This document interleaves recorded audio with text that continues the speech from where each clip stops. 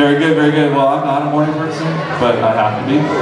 So, you know, kind of, kind of the, the rule around here for most of us that are not morning people. Um, make sure you put your phones away. And uh, let's do some worship. Um, I want to I want to make something clear today. Um, there's some things going on with the speakers, and we want to make sure that everybody's safe. So we're going to have everybody stay in their seats today. Okay. Now you don't have to sit in your seat. Stand in your Please stand in your seat for the sake of all good, good out. Get out. All right. Make sure you stand for me, okay? Because that just helps us connect and everything with you guys. All right. So let's stand this morning and let's worship Him today. Let's go, everybody up.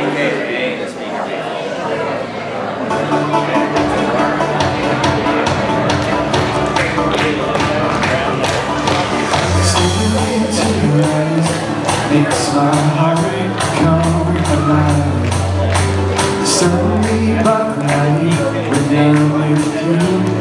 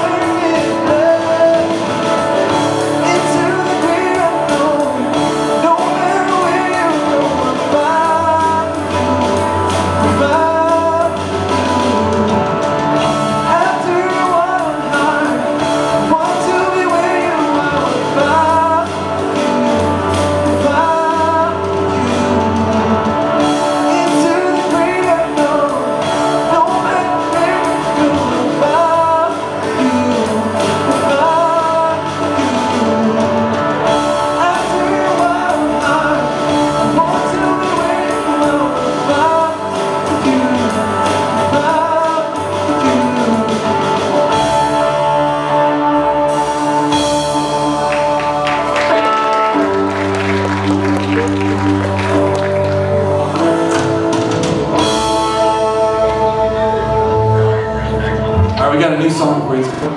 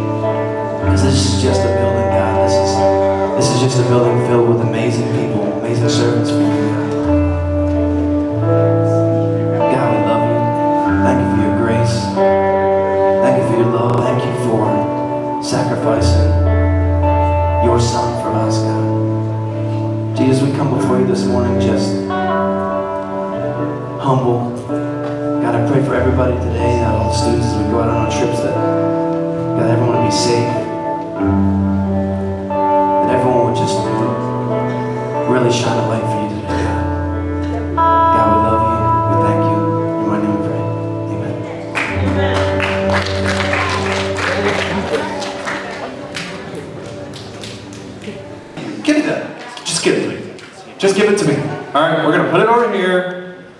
Okay? Quit moving stuff, Carl. Carl! Just leave it, Carl.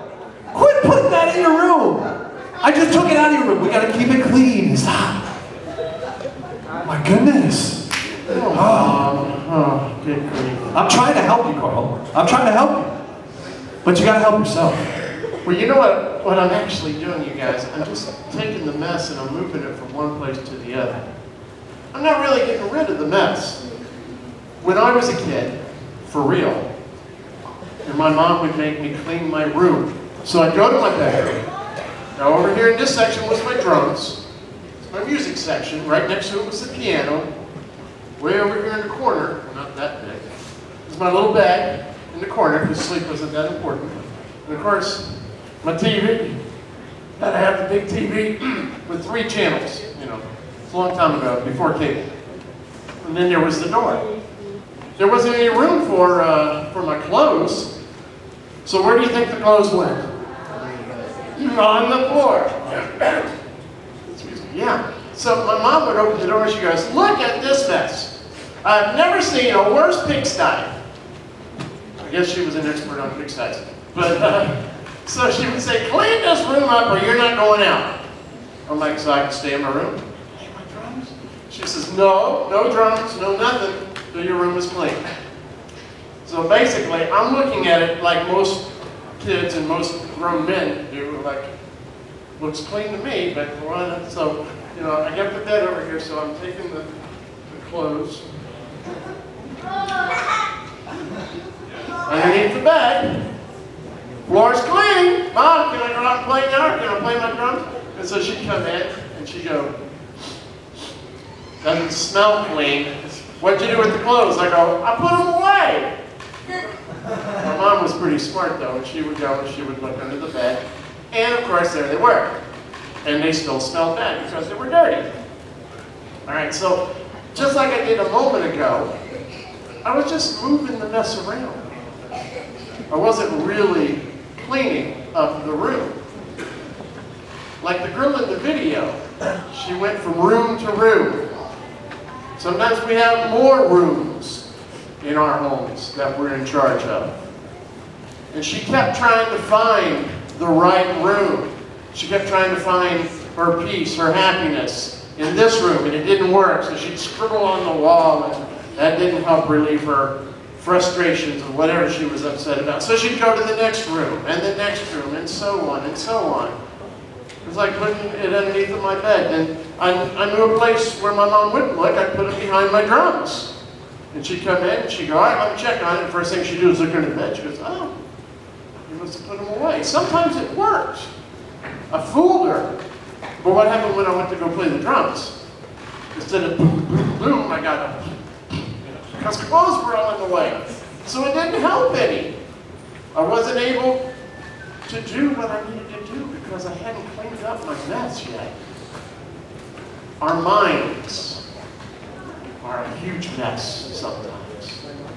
Now, if you want to take that analogy of the different rooms or the different sections of your room and put that in your mind, you got different sections of your mind, different rooms in your brain.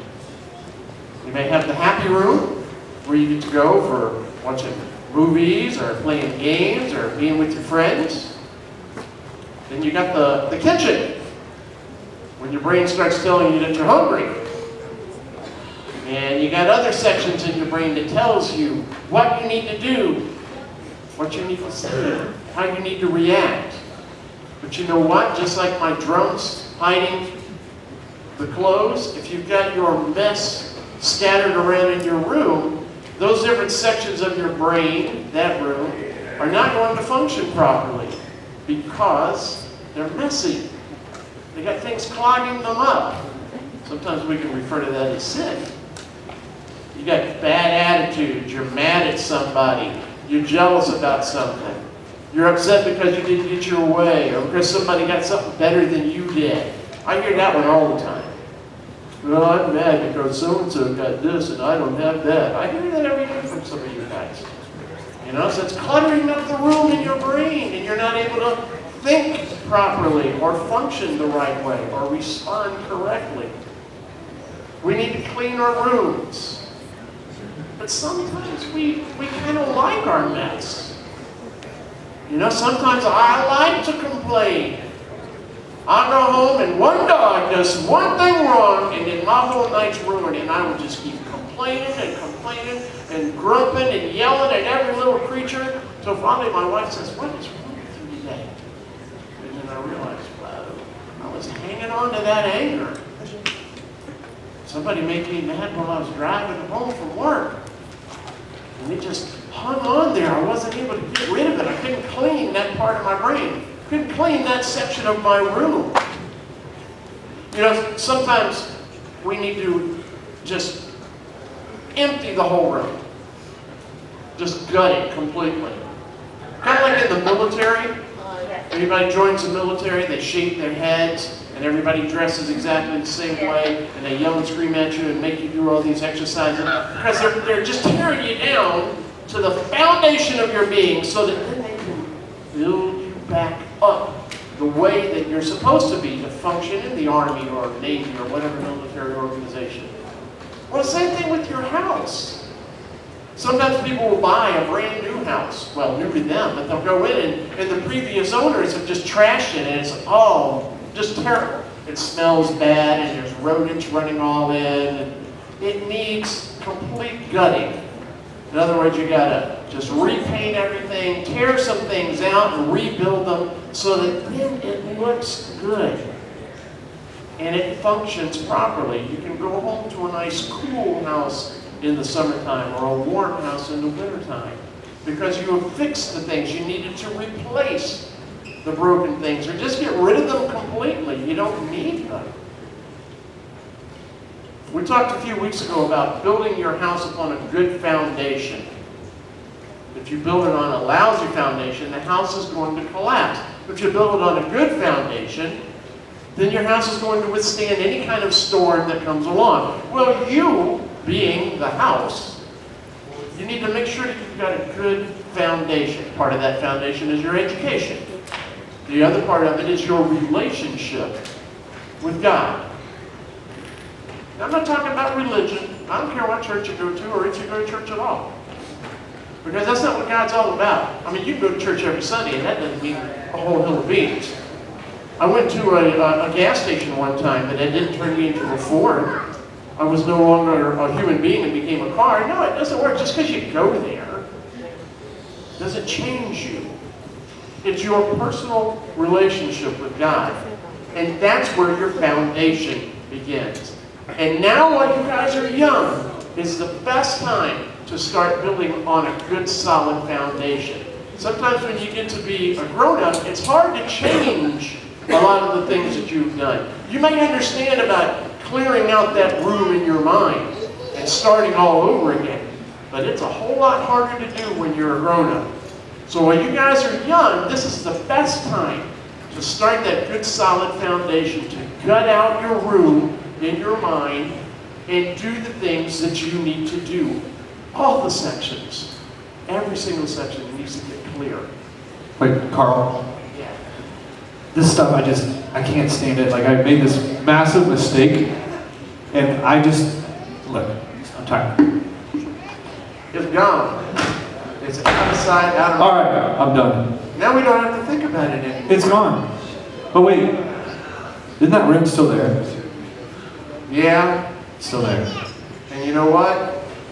Uh, hey, what, what are you doing? Carl, don't you dare! I need my books. No! Guys, send him these books, I'm telling you, he's obsessed with them. I can, I can go back and get them anytime I want. Yeah. See, and that's the real problem. We can clean out our rooms, but we can go back and get them messy anytime that we want. And sometimes we, we can't even control ourselves for what we want. I gotta close that door, that's my OCD. Yeah, that door really bugs me. That room just really bugs me. You see, every now and again, we'll remember certain things that we used to own and kind of miss it, even if it was bad. I had a dog one time that bit everybody in the whole neighborhood, and we had to just, yeah, we we had to get rid of it. Yeah. But I loved that dog. And every now and then I think of him, and I miss him. And if he was still alive, I'd go get him. I would. Because it's what I want to do. Too many times that we get so consumed with what we want to do, what I want, and we forget to think about what's good for me. What does God want us to do in our lives? And you know, sometimes we even know what God wants us to do or what He, he wants us to not do. I know God doesn't want me to do this or that or the other thing.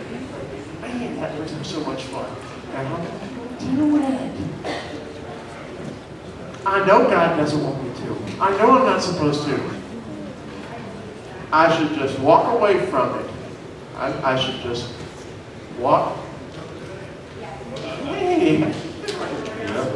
Sometimes I just go right back to it. Yeah. It's, it, it's, it's a tough thing to do if you don't have that good solid foundation. You know, I think something, Carl, I was thinking about is, I was just listening to this the other day. They were talking about how we as people, human beings, we have this, this thing where the negative things seem to ring more true in our, our minds.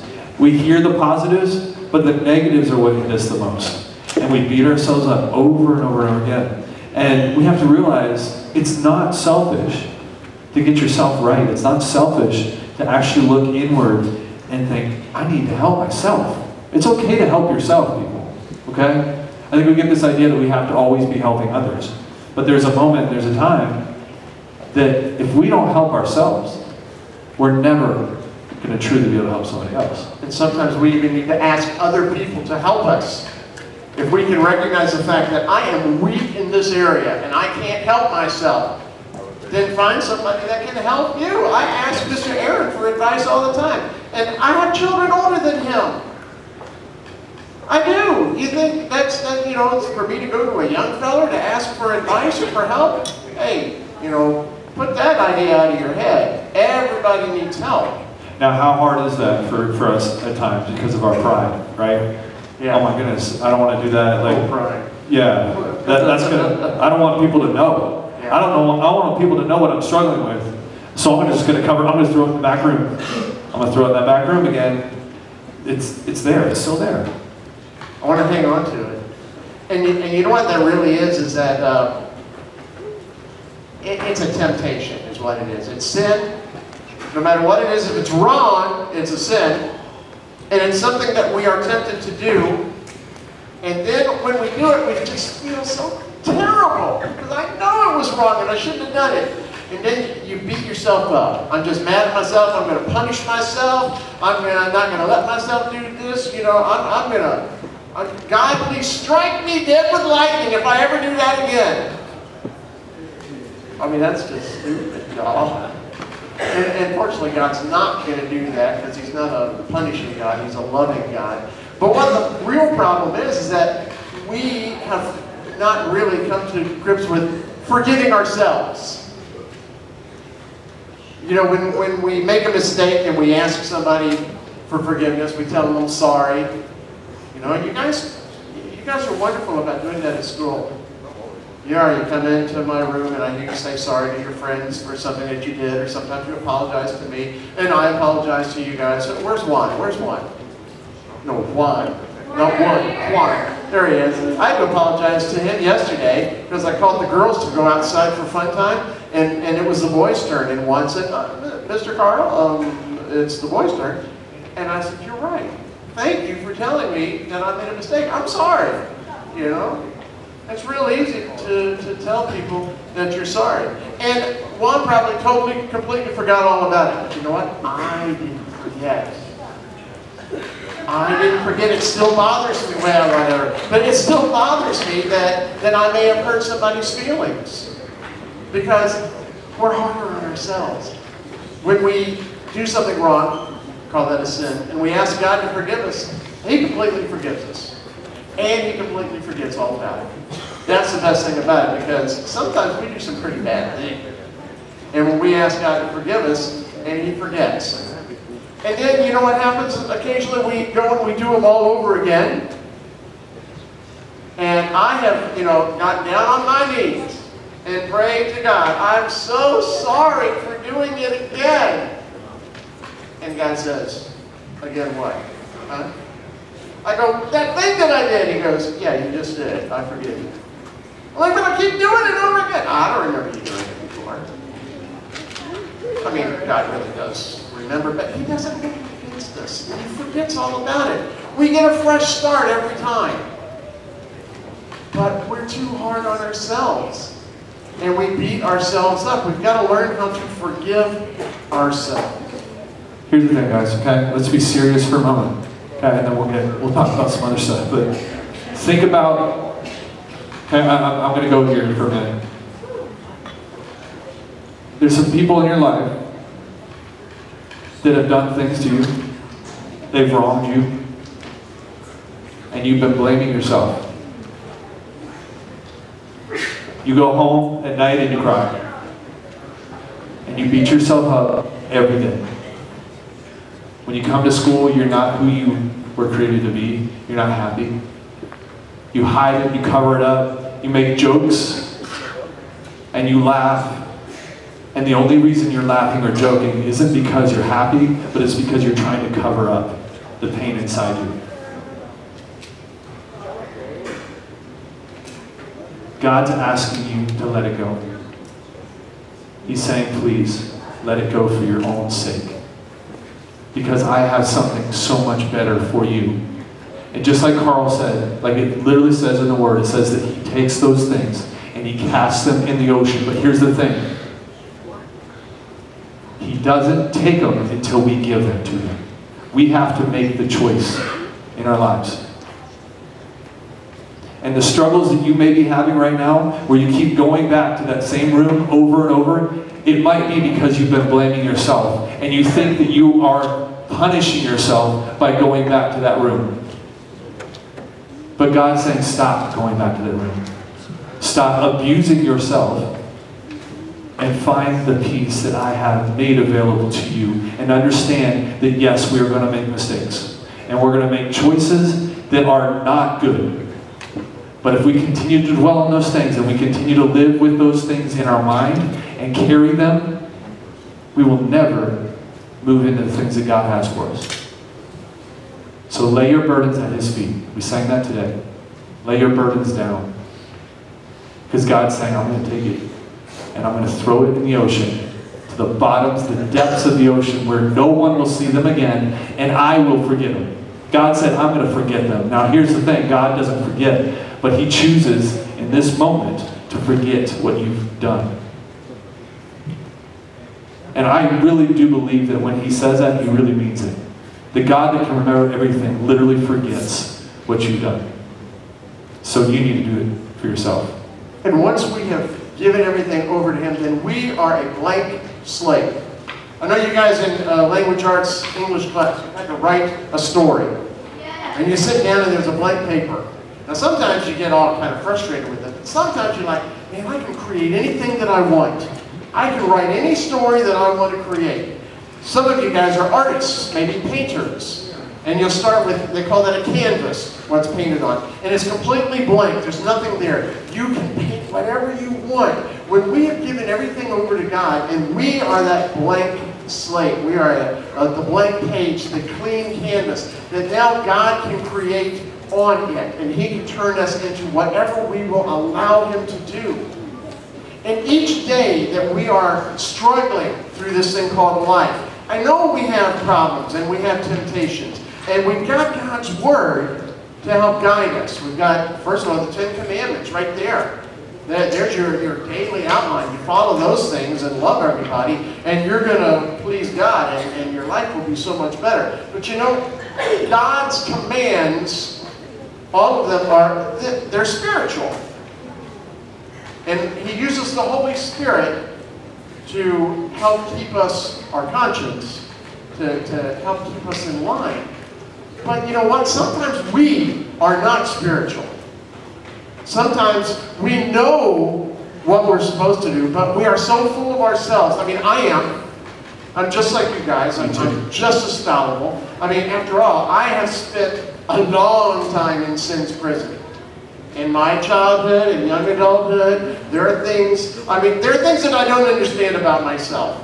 You know, I, because I'll decide to do one thing, but then I'll turn around and do the opposite way. You know, I just can't figure myself out sometimes. You know, I know the right way to do it. Uh, I'll, I'll decide that I'm going to do this, but then I'll act a totally different way. I'm going to be a nice guy and happy all the time, and then I wake up all grumpy. I don't understand it. I, sometimes I just get so aggravated with myself, I, I actually don't like myself anymore. I despise myself. You know, and, and if I can't be trusted to figure out what's best for myself and, and then do the right thing, well, I guess it becomes necessary that, that God's command be right there for me. All of His commandments, the directions that He gives me. But even though I have that I need something more. I mean, I know the law. I know the rules. And yet I still make mistakes and I don't keep them. All right? And if the power of sin has that kind of control over me and, and sabotages my best intentions, man, I absolutely need some help. I realize that I don't have what it takes. I can will it, but I can't do it. I can want to do it, but I can't I can decide to do good. And, and, and I really want to do good. But then I go ahead and I do something bad anyway. Yeah, I just, I, I fail at that. My decisions, such as they are, don't always result in the right kind of actions. Something has gone wrong deep within me because the bad thing gets the better of me so many times. If, you know, sometimes it happens so often that it's predictable. I can even say to myself, I'm not going to do that, but you know what? Come tomorrow, I, probably will. But it's okay, because I can ask God to forgive me anyways. The moment that I decide that I'm going to do good, then sin's right there to trip me up. You know, the devil, he's, he's just waiting for me to walk the wrong way and stick his foot out and literally trip me over. You know, it's... It, it, I'm not happy about it. I don't delight in the fact that that I stumble and fall and, and I make mistakes. But you know what? There are parts of you, parts of me, that covertly rebel against what we know is the right thing to do. Just when we least expect it, it's going to come along and take charge and trip us up. I mean, throughout my life, I have tried everything. Can, I've tried yoga, meditation. I've tried to, to, to just uh, surround myself with people so that I don't always go the wrong way or do anything. I have tried, tried, and tried, and nothing seems to help. I, I, I've got to have something else that can help me.